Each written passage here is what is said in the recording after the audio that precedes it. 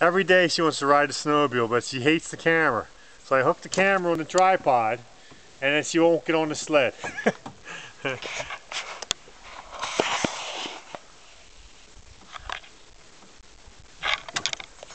this is pretty cool, isn't it?